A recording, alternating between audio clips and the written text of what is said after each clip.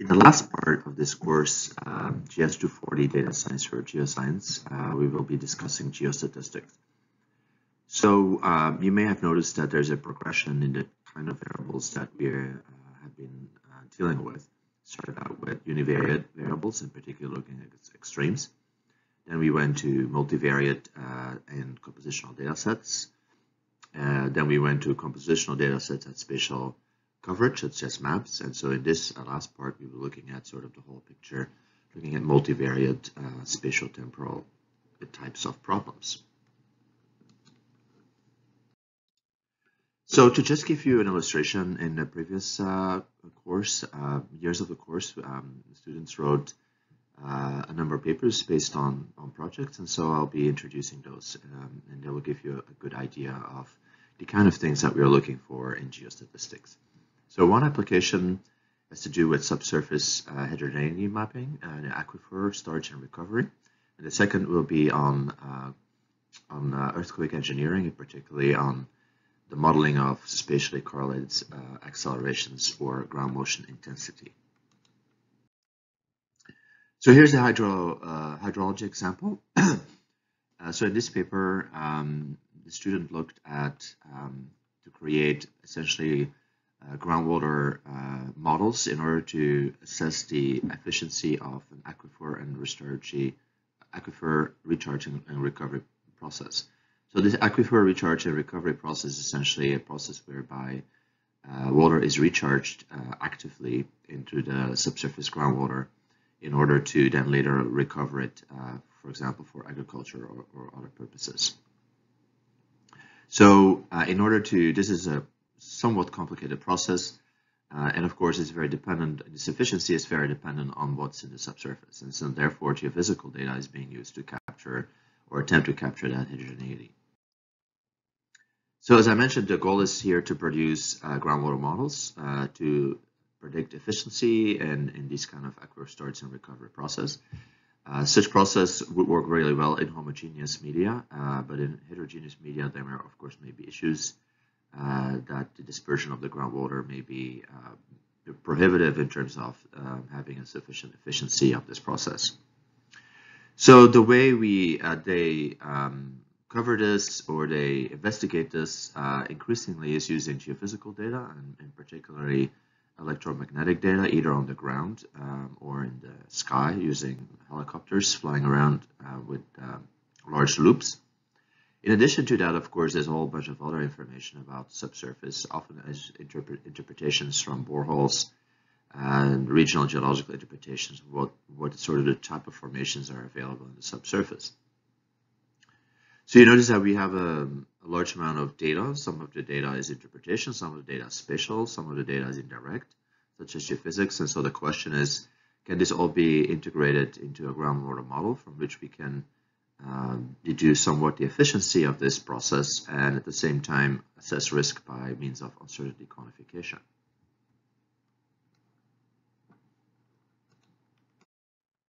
So here's a study area, it's in Colorado. Uh, and so the way the aquifer storage and recovery works is that uh, in this particular case, there are actually two, two ways of doing that. Uh, one way is to create uh, basins uh, within uh, which then just water is um, is drained and the water drains out of these basins into the subsurface. Or the other process is by means of, um, of active wells pumping into the subsurface. That's probably not the case here. I think um, these wells are just, uh, this is a, a sort of a, test site. These wells are monitoring wells um, or wells where tracers are released to study uh, variability in the subsurface. So the lines you see here, the lines, the 2D lines along which uh, geophysical data has been uh, recorded. Uh, so the way this works is that um, is, is by means of uh, essentially electrodes that are um, potential and current uh, current electrodes that are put into the into the ground and electrical resistivity or the apparent resistivity is being uh, measured and that would be an indication of the presence of say sand shale or other types of uh, indications of difference in resistivity so the geophysical data is, is, as you notice, is not uh, 3D. It's basically a sections of 2D. Uh, in addition to that, as you notice here, we have wells. So what we notice, what we have here is the inverted uh, electrical resistivity. So this is not the heterogeneity, this is the resistivity, but obviously you can see that the resistivity is varying in space, which is an indication that the geological uh, heterogeneity is also varying in space. And so um, geologists uh, may provide some ideas. Uh, in this case, uh, uh, we have a channel type uh, setting. And so this information, in addition to this information, is important in, into building groundwater models.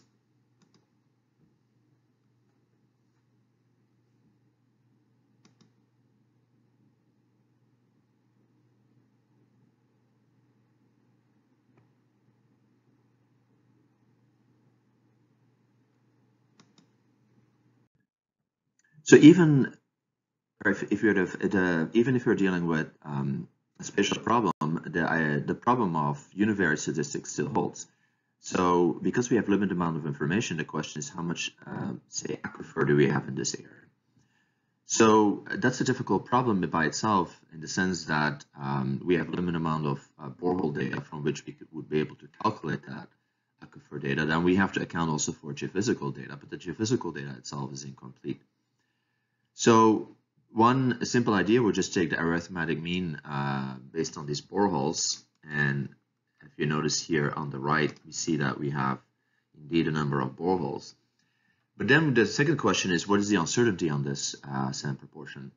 And so what we can do is use a, a standard statistical approach of, of either calculating that um, uncertainty uh, using the binomial distribution um, um, but we also have a problem of, of spatial heterogeneity. So uh, we could also use Bootstrap, uh, but all these uh, rely on the assumption of independence. So the um, uncertainty on this uh, proportion will be highly dependent on the type of heterogeneity and the type of spatial correlation uh, that is present.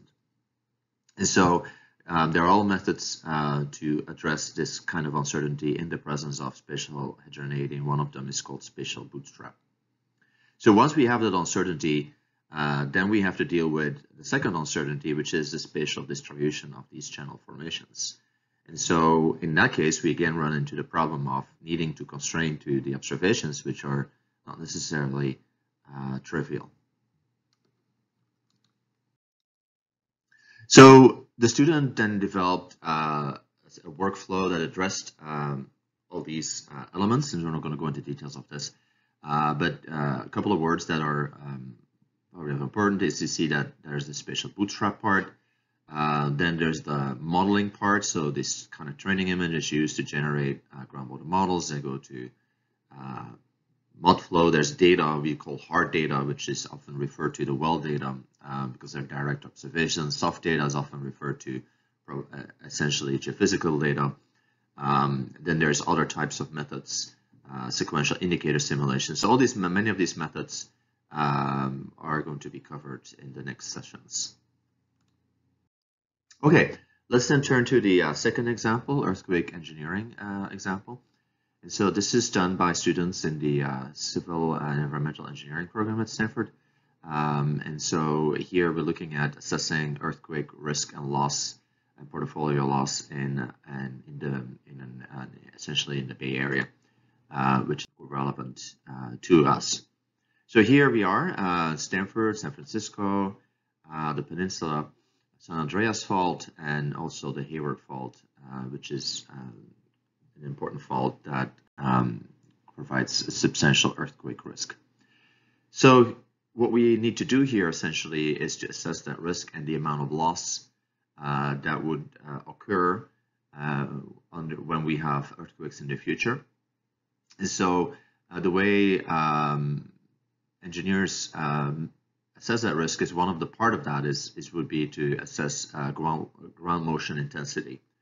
Uh, so that's basically the amount of shaking that, that we have observed at certain stations and locations. And so that will, of course, that have a direct impact on um, on the building structures. Uh, and so this all would go into a sort of a big modeling effort on on evaluating how uh, groundwater motion has an impact on building structures and how collapsing of building structures has, of course, uh, leads to a monetary uh, value or cost uh, that's involved.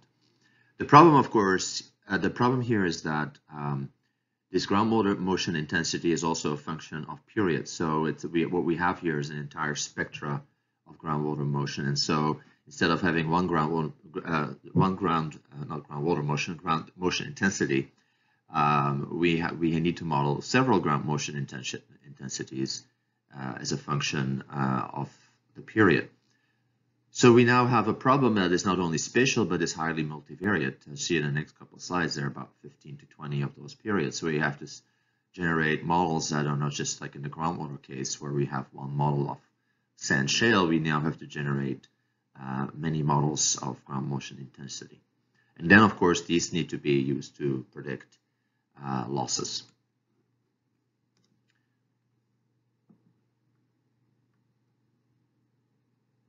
So why does this all matter? Um, so here we have an assessment of the impact of the spatial variability of ground motion intensity on loss. So this would be a, a model that calculates this loss. So on the right-hand side, uh, we see uh, the mean rate of exceedance versus um, the, the loss in terms of millions of dollars. So here we have the high the high rates of um, so the, the high probable exceedances, of course, they have low loss, and then we have, of course, the low probability ones, and they have very high lo uh, loss.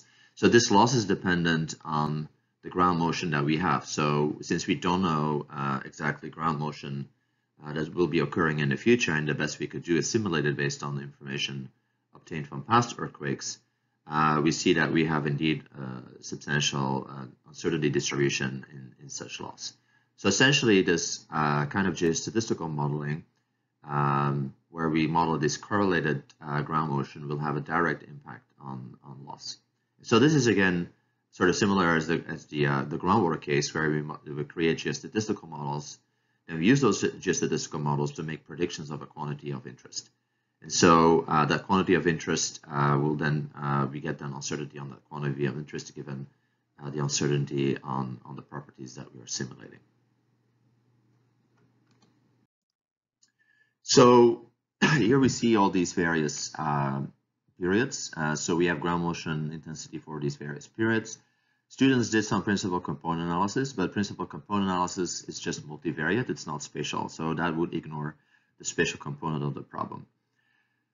And so, however, the principal component canals can be used to replace the original variables into a limited set of variables dependent on, on the computational variance. And indeed, we noticed that uh, there are a limited amount of principal components in terms of explanation of variance. We could see one, two, three, four, five, and then it also becomes uh, close to zero. So maybe six components would be sufficient to reproduce the entire signal. So the problem we have uh, here is that, uh, unlike the groundwater case, is that we have multiple correlated spatial fields. And so we have to assess uh, that correlation. So one way to assess that correlation would just be calculated in the correlation coefficient. But again, that would be insufficient in the sense that there is more correlation to maps than just the correlation coefficients. And so one way we'll be doing that in the course is by calculating cross variograms or cross correlations. So these would be correlations uh, between two maps, but now not looking at the same location, but looking at different locations. So here we see such two maps, and then once we have that information, which we can obtain from uh, the earthquake data. We can then, once we have that information, then we can generate maps that are correlated uh, of various periods. Uh, and so that would help us in determining the amount of loss. So the general aim uh, here would be uh, three steps that we'll go through in this next section. Uh, first of all, we have to think about how do we quantify spatial temporal variation. Uh, so previously, in, in, previous cases, we looked at multivariate distribution, univariate distribution. So what does it now mean for spatial temporal variations? Uh, what are statistical summaries of the data that we obtain uh, that can explain some of this spatial temporal variation? So just like in univariate statistics, one we have some statistics maybe, uh, such in the univariate case, it will be a mean or a variance or a skewness, then we can start uh, quantifying and estimating things. Um, for example, once I would know the uh, have the spatial temporal variation quantified, then potentially I could use that to estimate uh, yet unobserved variables. So that's not enough either, uh, because an estimate is just a single number. Uh, the, other, the third thing we would like to do is to quantify uncertainty. So, and that's what will come next, uh, is that we'll talk about the various tools of, of quantifying spatial temporal variation. Uh, we'll look at some of the tools that are available, not all of them, um, but this is already a good set for a first course. Uh, then we will looking at estimation, so that will be known as uh, kriging, and estimation when we have multiple variables, which will be called as co-kriging. And so uncertainty quantification would then require stochastic simulation, and that needs to be constrained to data, so we'll call that conditional simulation. So in the next uh, set of uh, lecture videos, I will then talk about these, uh, these various topics.